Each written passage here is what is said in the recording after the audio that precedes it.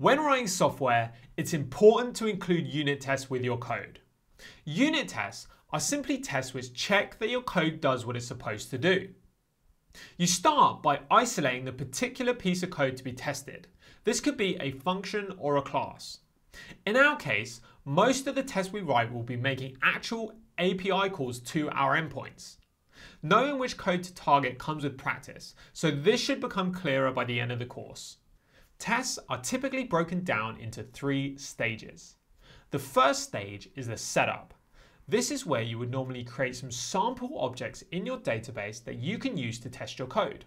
For example, if we were testing an API endpoint that updates a recipe, we would start by creating a sample recipe that we can use to test our endpoint. The second stage is the execution. This is where you actually call the code being tested.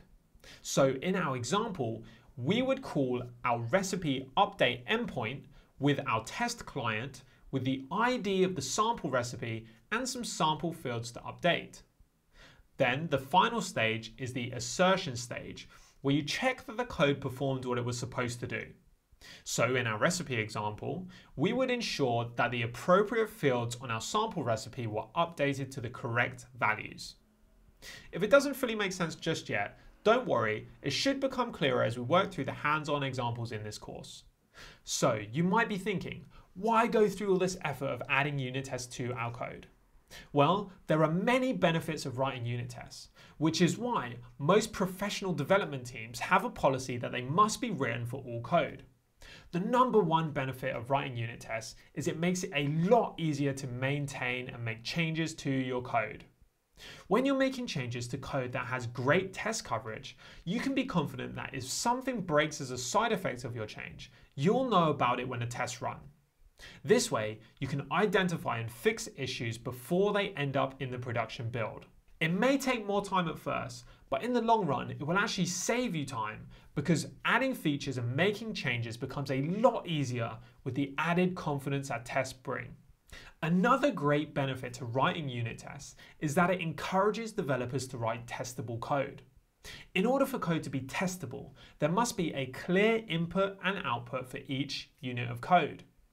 This also happens to be what makes easy to read reliable code. So testable code equals quality code. So what about test-driven development or TDD?